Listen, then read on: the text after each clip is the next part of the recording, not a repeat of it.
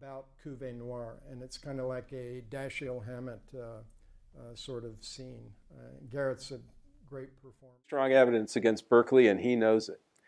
And ultimately, before he was through, he named 160 people.